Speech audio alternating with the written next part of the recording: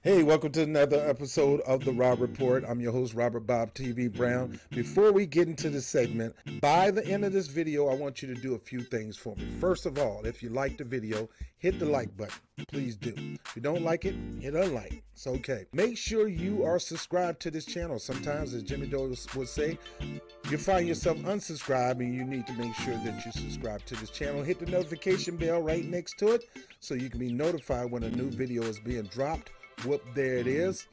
And more importantly the super chat will be on for this segment so if you want to donate uh, toward the efforts of bob tv that's freely up to you. Any amount will help toward the growth of this channel. My name is robert brown with the rob report.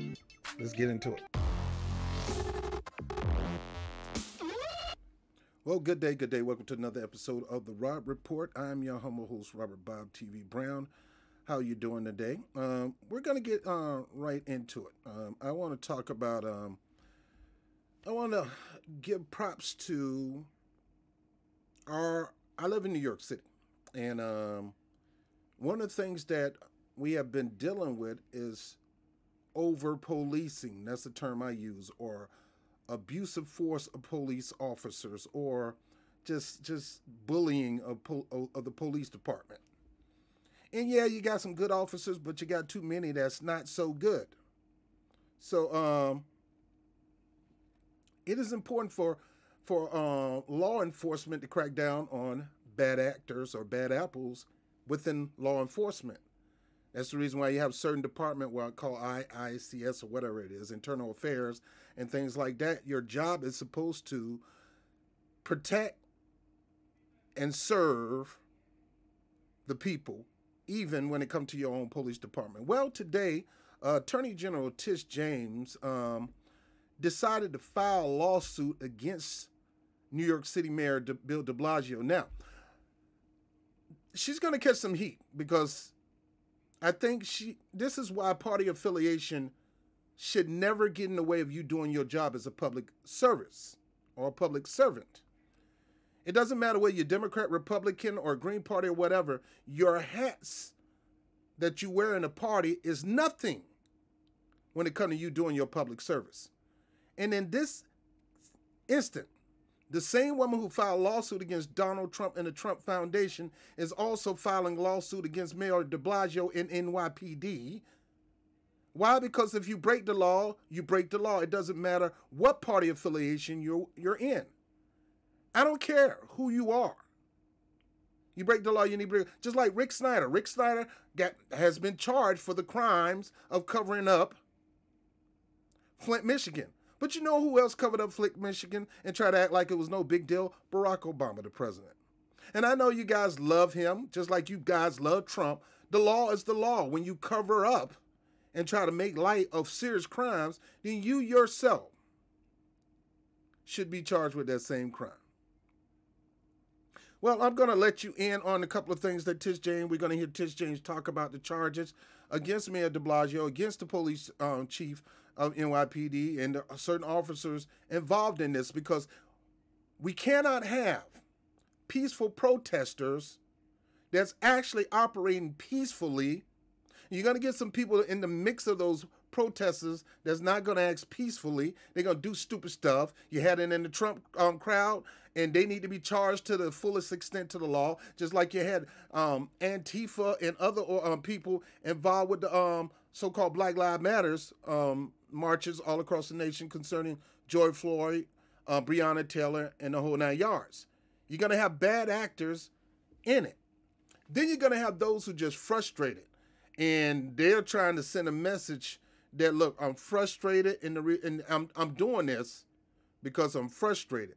And these people understand that they're going to have to pay the full ex- to the extent of the law too.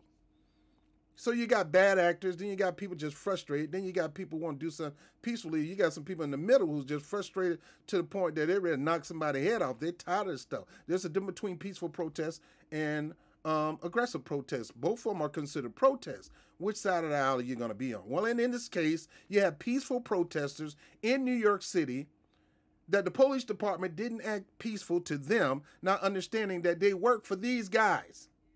These guys are paying your paychecks.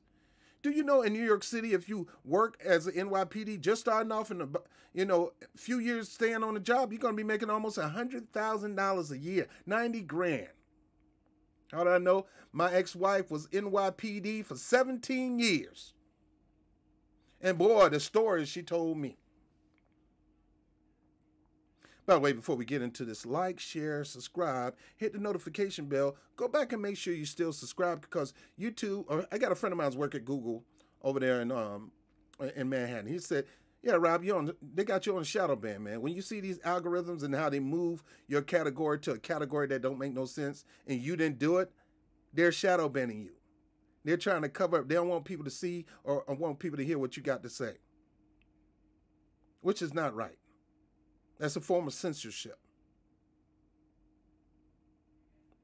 They don't want me talking about Black Lives Matter, real Black Lives Matter. I'm talking about black people. They don't want me to talk about reparation. They don't want me to talk about closing the wealth gap. Don't want me talk about white supremacy and how you need to go against white supremacy no matter where it's at on left, right, blah, blah, blah, blah, blah. So do that. And also, before I get into this, uh, when you get a chance, I want you to I'm going to be um, investing uh, in this right here. Let me see if I can actually pull it up. If I can actually pull it up. If it'll let me pull it up. uh, let me see. Is this it? Nope. That's Mitch McConnell Network. Uh, let me see. It's right here. I'm going to be investing in the Shure MV7 USB podcast microphone. It's $249. Now, the one that most people have, like Tim Black, um, Jimmy Dore, um, Niko House, they have the high quality, big money mic. That's about $500. I ain't going there. Okay. But I am going to invest in this one. Um, I'm just going to be praying and, and, and believing for the money. I'm going as they say in the church, I'm believing God for the money to purchase this. I'm going to get it. Uh, but I always want to give you guys an opportunity to donate um, to get this for me to help me get it. You know, cut, maybe you can cut the cost down for me. You know, I'm going to get it because I need it. It's a good investment, but I don't want to pay for it all by myself. So if you guys want to donate uh, to the channel, uh, you know my Cash App uh, information is right here. And um, that way, if you want to donate to the efforts of Bob TV getting this mic, um, then you can donate by donating to uh, perfectly PayPal, not the Cash App, um, to help me fund this. Some of you guys have helped me uh, with a lot of things. Like what I'm talking to right now is I'm on a Rode Mini, and I love the Rode Mini. But the only issue I got with the Rode Mini is you cannot – you cannot control your gain on the mic. Therefore, you don't know how loud you are. Uh, and the headphones don't do it no justice. Uh, you actually have to monitor yourself and then try to turn down the gain on the microphone, kind of like the Blue Yeti. So I think this microphone does that. Um, and if you want to donate, by all means. But look, I'm going to get it anyway. Whether you donate or not, it got to be done. I'm going to get it, whether I get it myself or not. And then I do want to thank my brother, uh, Reginald Carnegie. Um, uh, Reginald Carnegie is my loving brother. He's a true patriot that served this country uh, and to protect this country. Uh, and he, he's retired now, and I want to congratulate him on his retirement. I should have stayed my butt in myself, you know, uh, because you know it is a it is a good life after you're done if you do it right. Mm. Uh, so I want to congratulate him on his retirement. And he had blessed me with a mirrorless camera. You know, right now I'm losing, using a Logitech uh, Brio, which is an excellent camera, 4K. It got great, great imagery on it. But I'm gonna try the mir- mirrorless camera as a um, uh, video camera instead of the Logitech. Uh, and uh, go from there. This does go to 4K, but my computer doesn't have the power to allow it to go to 4K. Um, but anyway, let me get back off this and get right back on this right here. All right, so we're going to get a chance to listen to Tish James and uh, let her explain to her some of the charges. And then we're going to hear from some of the victims of police brutality in New York. This need to be mimicked in every state in the United States. There need to be laws cracking down on over policing, police brutality, police mistakes. I mean, criminal charges. If somebody get hurt under the guise of uh, uh, uh, of an arrest or unlawful um, entry into somebody's house, search warrant or whatever, if somebody dies in the, under the hands of those cops, they need to be prosecuted to the fullest extent of the law. The same thing you would give a criminal for taking somebody's life is the same thing you should give a police criminal for taking somebody's life. But let's listen to her, and then I got to hurry and get out of here. Uh, but let's go ahead and uh, let her talk um, about what she's doing. Peaceful protest. In our lawsuit, we outlined years of the NYPD's illegal and harmful conduct against New Yorkers.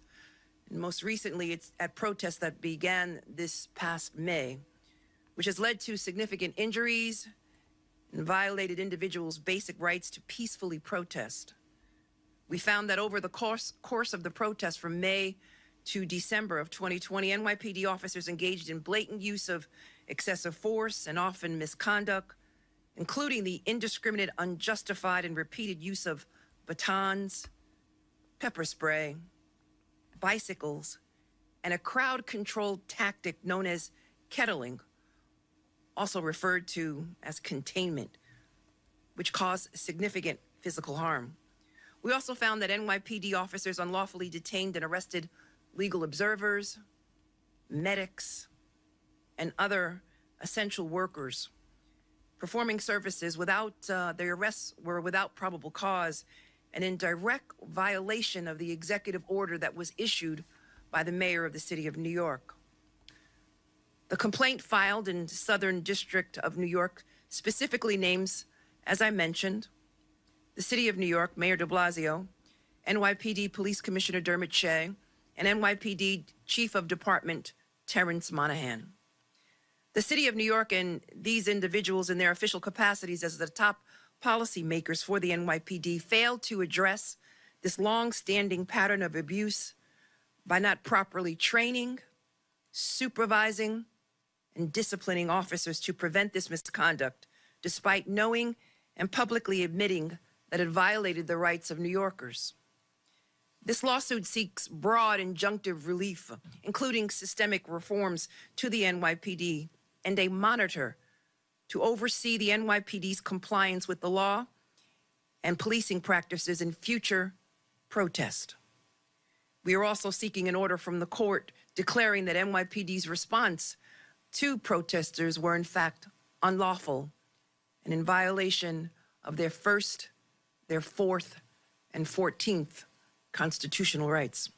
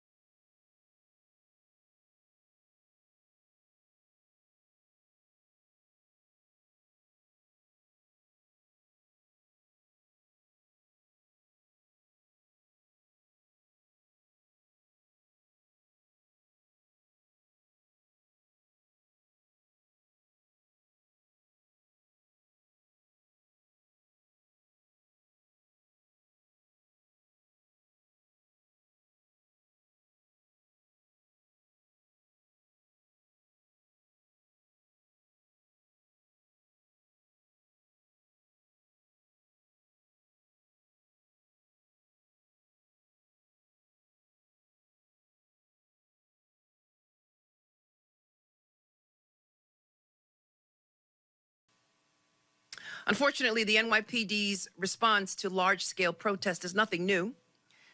During anti war protests in 2003, protesters made hundreds of complaints about excessive force, resulting in money damages against the city of New York. In 2004, NYPD employed similar unconstitutional practices at protests of the Republican National Convention, again, resulting in money damages against the city of New York. In 2011, NYPD officers used excessive and unnecessary force against protesters during the Occupy Wall Street protest, again with the same result money damages against the city of New York. And during these years and since, the NYPD and the city have been sued many times, numerous times, for this misconduct and for arrests that lack probable cause and violate the First Amendment. Since the end of May 2020, my office has received more than 1,300 complaints and pieces of evidence about the NYPD's misconduct. We have, we have also received 300 submissions of written evidence. We heard from over 100 individuals at our public hearing in June and subsequent investigation. And we found a pattern of deeply concerning and unlawful practices that the NYPD utilized in response to these largely peaceful protests. We found that the NYPD arrested or detained hundreds of protesters, legal observers, medics, and others without legal justification and in clear violation of the emergency executive orders from the mayor. Officers arrested individuals who were exempt from the curfew and detained and arrested individuals without probable cause that they were that they were actively engaged in unlawful conduct. They used grossly excessive force, including unjustifiably deploying pepper spray, batons, their bicycles, and even using their fists against protesters. As a result of these actions, protesters suffered, suffered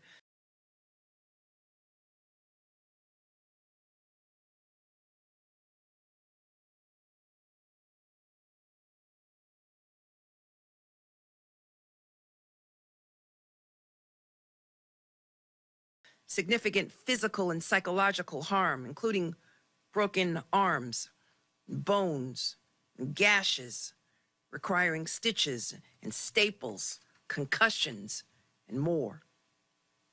In total, we found over 155 incidents of officers using excessive and unreasonable force against protesters. And while these acts were abhorrent and unlawful, sadly, they are not new. For decades, this misconduct has been widely examined and reported the NYPD has continuously engaged in similar unlawful excessive force and false arrest practices while policing large scale protest.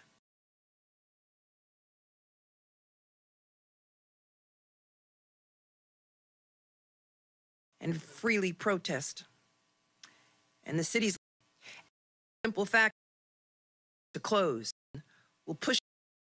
I'd also like to thank two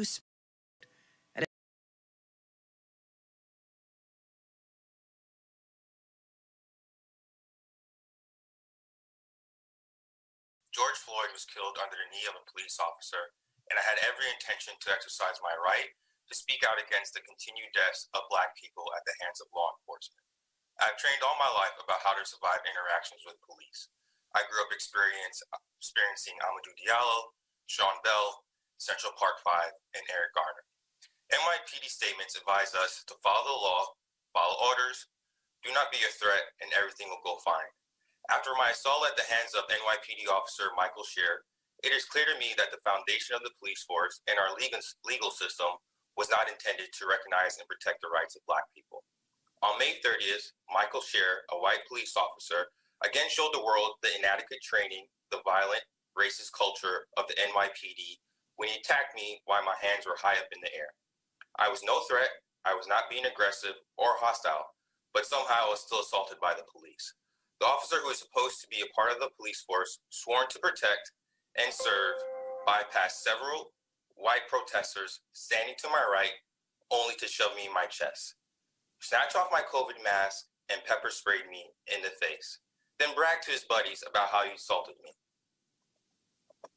I strongly believe that Officer Scheer should be prosecuted and removed because he represents members of the police force who hide in uniform, terrorizing those they are sworn to protect. That is why I have continued to push for Officer Scheer to be prosecuted.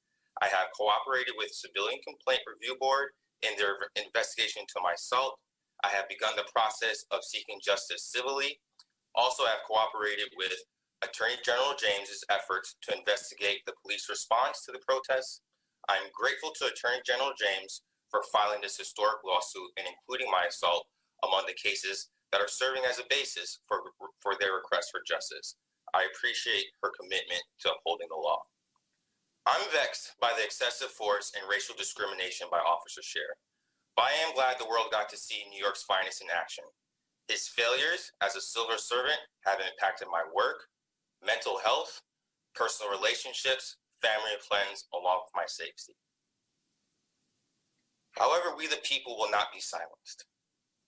This historic lawsuit against the NYPD by the Attorney General is an indictment to the largest police force in America for its culture of taking opportunities to target those they are sworn to protect. Thank you. Thank you, Andrew. Thank you, Andrew. Next, Next, I'd like, I'd to, like to introduce introduce Luke, Luke Hanna. Hanna. Mr. Hanna?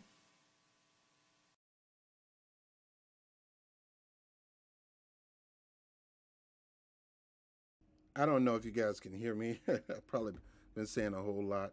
Uh, I did mention to you that I know Letitia James. Letitia James helped us with um, organizing and getting things done against this um, North Carolina-based company that was treating paratransit workers like like like slave slaves and working them like horses and stripped them from their original pay down to the lowest pay. Uh, they just came in and just literally raped the workers there in New York. And I dare New York, let alone New York City, allow a company from outside of New York City to come in and be able to treat New Yorkers like that. This is something that New Yorkers supposed to pride themselves on is that, yeah, we may go upside each other's head, but at the end of the day, we ain't letting no other state come in here uh, trying, trying, trying to bully New Yorkers around because you may be a black New Yorker or a Latino New Yorker, uh, but if you come from another country, I mean another city or state, uh, we we we we we gonna look out for New Yorkers. That's what we pride ourselves in. Uh, so that's um, you know, so she's she um she helped us with a campaign um, against this company, and we won the case. We won the ability to um, organize and start a union there, and uh, we got a contract and got more pay and more vacation and all that for those workers, thanks to Letitia James. Everybody else wasn't there for us. Governor Cuomo wasn't there for us. Uh, at that time, I think um, it was Mayor, De, um, you know, Bloomberg was not there for us. We knew Mayor De Blasio wasn't going to be there for us. So Letitia James was there every step of the way. So I do have a little favor. As long as you do stuff like this, I don't care who you are, what party you are, you do your work as a public servant to serve the public. I'm going to back you up in your endeavors. I'm not going to 100% back you up and just say I'm, I back you no matter who, just because you're Democratic or no. I back you in this particular endeavor. I'm going to judge you by the endeavors that you begin to put forth and win on behalf of the people. And once I'm with you, I'm with you. I am with her in this lawsuit against De Blasio, and he, she need to do one against Governor Cuomo, and this need to be echoed all across the country to really deal a hard blow to police, um, to over policing, to police brutality, and things like that. So let me get back into it uh, for the next person's testimony. Hello, thank you, uh, Attorney General James. Uh, so on June 3rd at Cadman Plaza in downtown Brooklyn, I was uh, peacefully protesting the murder of George Floyd with hundreds of others peacefully protesting. Uh, uh, after being uh, thrown to the ground several times and witnessing violent acts against numerous protesters, I fled the area uh, in compliance with the NYPD's instructions uh, while walking in the pouring rain. You know, I could hardly see out of my glasses um, away from Cadman Plaza, surrounded by dozens of officers, um, and I was alone. I was uh, struck from behind with a baton, and uh, I touched uh, my head, and my hands were covered in blood. Um, you know, more than just the pain, immediate physical pain of being beaten on the head was the lasting pain and anger of having my constitutional rights uh, violated. I'm a U.S. citizen. I'm a New Yorker. I, I live in downtown Brooklyn and I walk through that area on a regular basis. Um, I just couldn't believe it. Um, you know, I'm one skinny guy at that time surrounded by dozens of strong officers in body armor. There's no way I posed any threat. Um, you know, I think I was assaulted by an irresponsible officer because that officer was sure that he or she would get away with it. Um, so, my hope from this is that the individual officers that acted out of line on June 3rd and throughout the protests are held accountable. And then beyond that, uh, fundamental change in the way that the NYPD uh, recruits and, and trains its officers. You know, um, I hope to someday live in a city where I'm actually, you know, proud of the police and think that they will protect me and not um, assault me. Uh, so, all right, guys. So, um, I'm going to continue this. I'm gonna move on a little bit more. You can go back and watch these. I actually have to be somewhere. Uh, it's 6:01 right now, and I have to be somewhere by eight o'clock, and I don't want to mess up my time. So.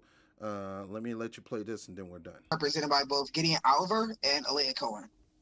On the night of May 30th, I was walking to the subway after my finishing my shift at the hospital I work at in Brooklyn when I saw multiple NYPD officers throw a man to the ground and start beating him. There were around six officers attacking this one person, so I began to record it with my phone. While I was filming, an officer walked up to me while swinging his baton and yelled, Get back, get back. I immediately started walking backwards in compliance and responded that I was moving back. The next thing I knew, that same officer charged at me. He pushed me to the ground began attacking me for no apparent reason. Additional officers then joined him and continued to beat me.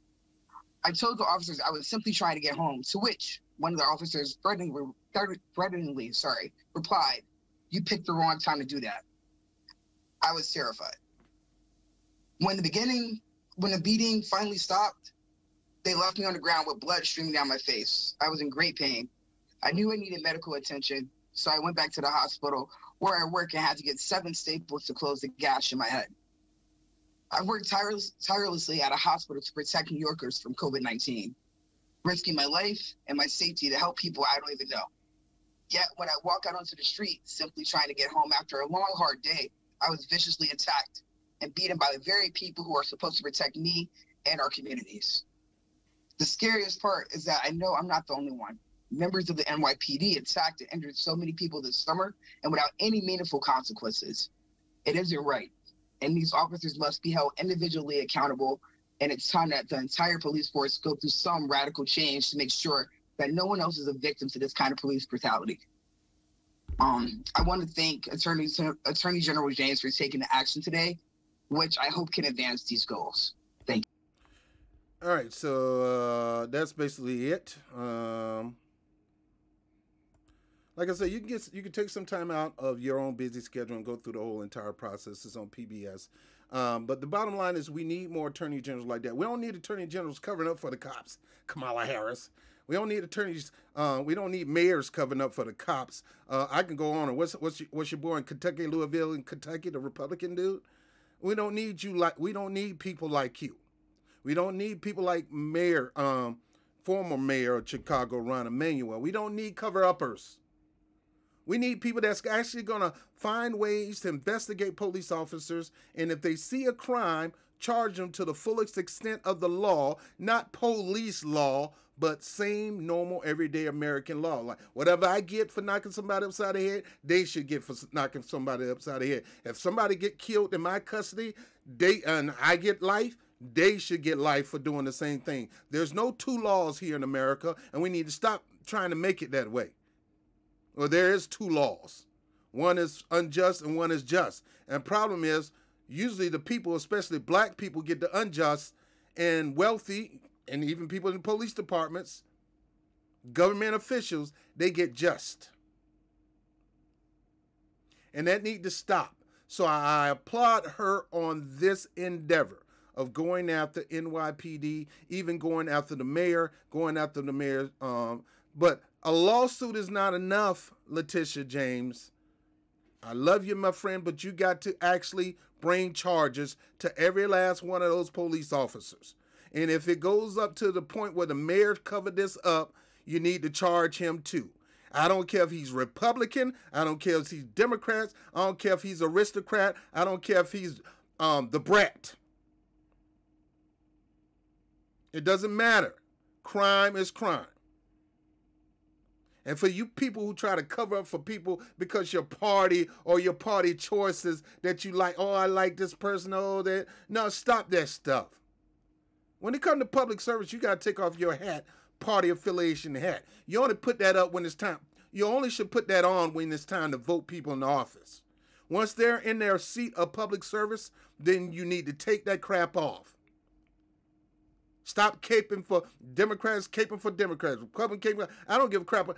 I see them all as public service. And if they don't do their job, guess what I do? I, I use this platform to get at them and try to promote change. I thought about running for political office for myself, especially here locally, but nah, I'd be better off doing this. This is my thing, and I'm gonna keep pushing. I'm gonna keep holding politicians accountable.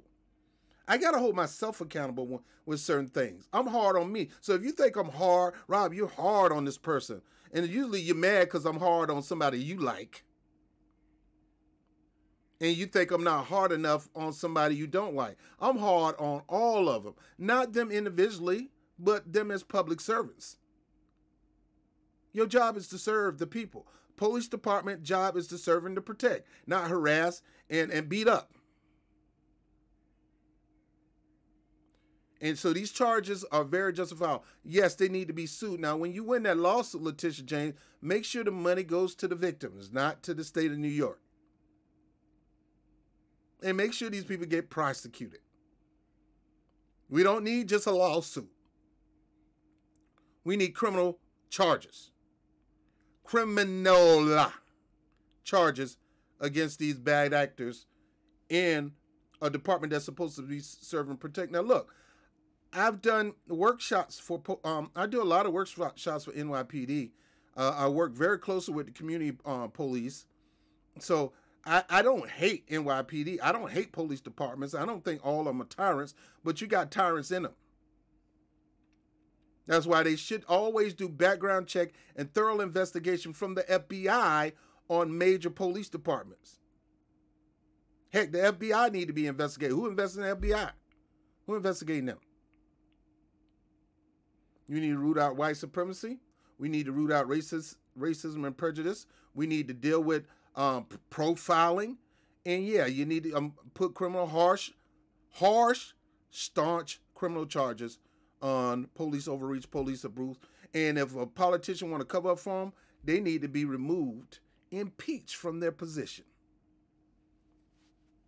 You don't cover up for nobody. Your job is to serve, protect, and work for the American people. You got elected to do so. So do so. So I'm done with this. I got to get out of here, but I just want to say I applaud Letitia James on this effort.